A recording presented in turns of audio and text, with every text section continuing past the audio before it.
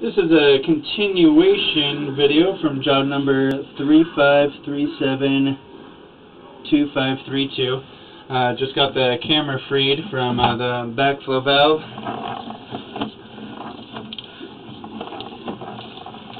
This is also an upload video. So come in two parts here. And we are pulling up and out of the flange here. This is where the work was performed. Thank you for choosing Bulldog Rooter.